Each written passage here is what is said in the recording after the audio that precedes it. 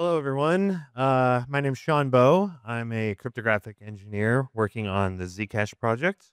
And um, if you're not familiar with Zcash, uh, Zcash is encrypted money. Encrypted money. Um, we launched Zcash about nine years ago as a fork of Bitcoin, and we incorporated really, really strong privacy guarantees and, and properties in our uh, transactions. And um, we did it through the use of zero knowledge proofs and ZK snarks.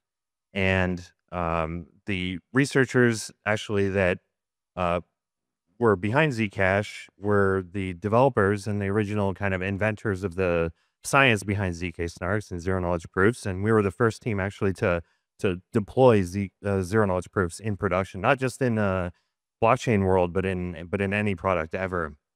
And um, after our launch, we uh, started improving the privacy and security of Zcash, and uh, we a lot of papers and elliptic curves and code and stuff like that came into the blockchain ecosystem, and pretty much everyone in the blockchain space uses in one way or another the stuff we produce for Zcash. Um, but most of the ecosystem, most of the blockchain world uses uh, zero knowledge proofs for scale and for performance, which is fine. But um, we personally use it for privacy. I mean, we, we need to use it for privacy um, because we don't know how to build encrypted money without zero knowledge proofs. And so Tachyon, the project that I'm working on, is an effort for the next year or so to integrate the next evolution of uh, cryptography in Zcash to uh, scale the protocol. We need to eliminate all of the remaining cryptographic bottlenecks and scaling bottlenecks in the protocol through the use of uh, a marriage of the scale and privacy properties of ZK snarks and recursive proofs and some of this other cryptography we've been working on for years. Um, in order to make it so that everyone on the planet can use encrypted money in Zcash. So, uh, just a quick uh, trip through most of the projects in this space, most of the platforms have been executing on these three pillars of uh, privacy, uh, usability, and scale. Actually, privacy more recently. And all three of them are very important, I think. But uh, they all the order in which you do this actually affects how your product works and it affects how well you uh, well your architecture and your your software and your protocol works. Um, so most of the projects in this space have been uh, they've been trying to find product market fit, right? So they've been uh, attracting funding, users, developers, raising capital, all that kind of stuff. Then they figure out where they should invest their effort into scale and uh, adapting to usage of the protocol. And then, uh, of course, they realized kind of late, especially the last year or so, that they need to add privacy to their protocol. And if they don't, I mean, this is like an existential, like this is a requirement of distributed finance. Uh, we really need privacy, and pretty much uh, everyone has has realized that and started making uh, privacy plays lately. Um, the problem is it's a little bit too late. Once your architecture is scaled and it has all these features and stuff, it's really hard to just bolt privacy on at the end. Um, and the reason for that, there's there's multiple reasons, but as cryptographers, we know we can't just put privacy in on a top layer or bolt it on at the uh, at the beginning. It doesn't really work like that. We need we need it at the foundation of the protocol.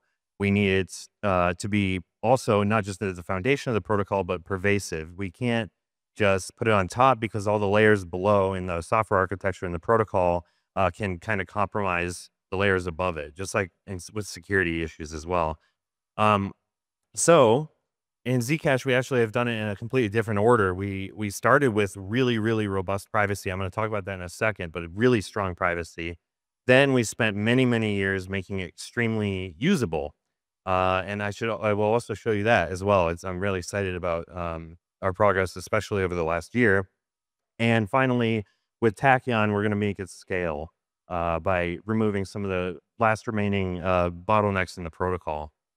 So why do it this way? Like I said, uh, you don't want privacy to be an afterthought in your protocol design, and so we need to integrate it uh, early on. That way, you know, you don't do a bad job of privacy later. You don't do a bad job of usability later uh, you don't do a bad job of scale, or it doesn't take you longer to make uh, to make it scale.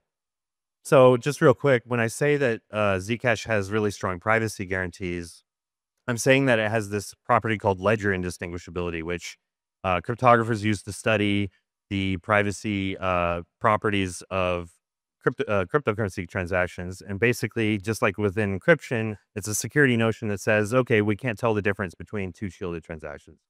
And um, unlike in Bitcoin, where you can see like the the key material and the um, the transaction graph and all the values and everything, it just looks like an opaque uh, random byte string. And so we can't actually tell the difference between two shielded transactions in Zcash.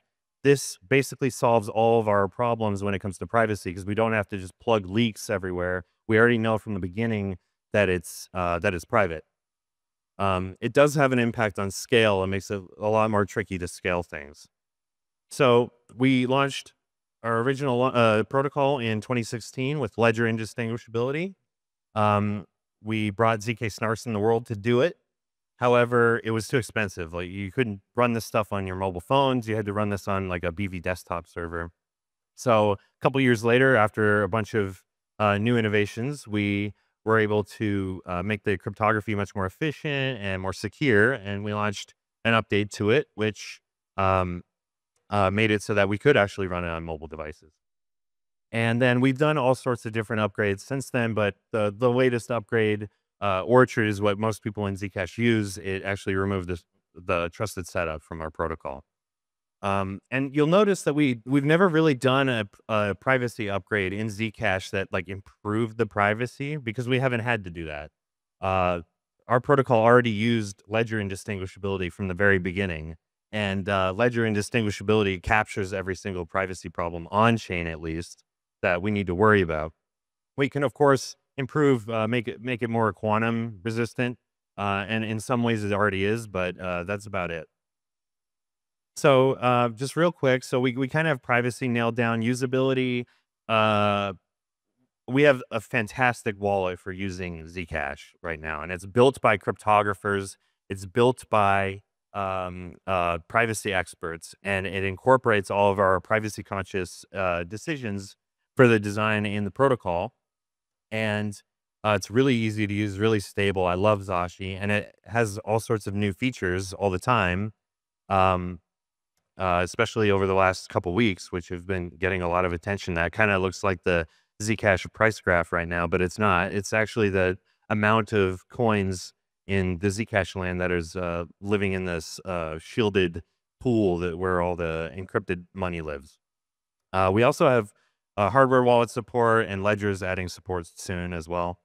So that's helping a lot. So we're making a lot of progress on usability and, and it's paying dividends. Um, so the three issues with scale that we resolve with Tachyon are uh, the first thing is double spend prevention. The way that we prevent double spends in our protocol doesn't really scale. Um, the way that the uh, re- people receive money in Zcash doesn't really scale either. We have to kind of scan every transaction that takes place on the chain, and also the transactions are much larger because of the uh, because the proofs are much larger and they take more time to verify than what you would expect from like a Bitcoin transaction. So, uh, starting with the double double spend pre- prevention. Um, so our protocol and pretty much every other protocol like ours uses this thing called a nullifier, which is like a revocation token.